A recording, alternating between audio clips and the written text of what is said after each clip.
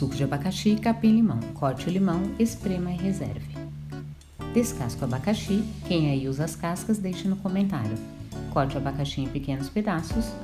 Leve ao liquidificador a água com hortelã, coloque o abacaxi, em seguida o capim-limão higienizado, bata por um minuto, passe por uma peneira, volte ao liquidificador, acrescente o suco do limão, açúcar e gelo.